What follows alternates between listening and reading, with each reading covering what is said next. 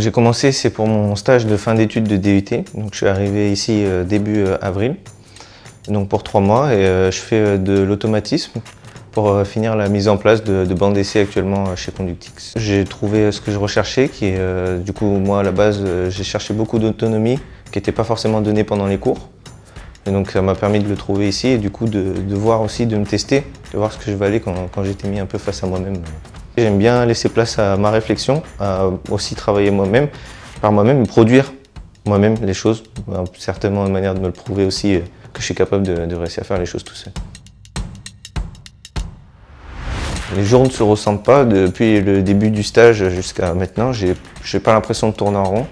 Je fais toujours des nouvelles choses d'un jour à l'autre. Une fois que j'ai fini quelque chose, je commence une, nouvelle tâche et c'est pour le moment plutôt varié. Donc euh, la suite du programme pour moi, ça va être de poursuivre avec une formation en alternance à l'INSA de Lyon. Donc euh, l'alternance se déroulera chez Conductix ici pendant trois ans. Conductix, pour moi, c'est une entreprise à taille humaine, conviviale, dans laquelle on est libre de travailler en autonomie.